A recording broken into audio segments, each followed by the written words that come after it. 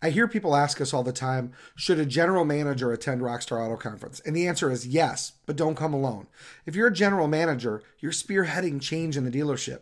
The owners put you in charge of casting that vision to your team. So you need to be part of the Rockstar Auto Conference to help not only bring that information back to your team, but bring someone from your team so that you've got a supporter when you get back to the dealership. Listen, there's no better event for general managers to attend than the Rockstar Auto Conference. You're going to get all the information you need to go back and successfully grow your business, not only in sales, not only in service, but in profit for both. Go ahead and visit rockstarautoconference.com right now. Grab a ticket for yourself and at least one other person at your dealership and join us at the next event.